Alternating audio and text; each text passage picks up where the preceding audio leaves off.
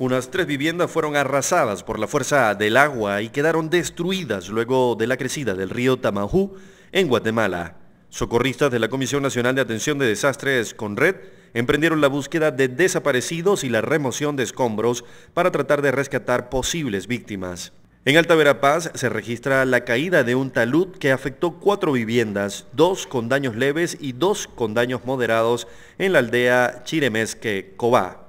En Quetzaltenango, por saturación de agua en el suelo, se registraron grietas en cinco casas en la aldea Chiquival de San Carlos Hija, con daños severos.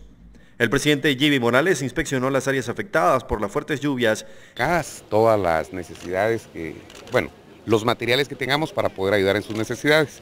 Me acompaña también el ministro de Desarrollo para poder colaborar con las autoridades municipales y departamentales con materiales como láminas y costaneras para poder ayudar a las personas que hayan tenido daños en sus construcciones. En Guatemala se mantiene la alerta por la afectación que provocan las lluvias fuertes que se han registrado las últimas horas.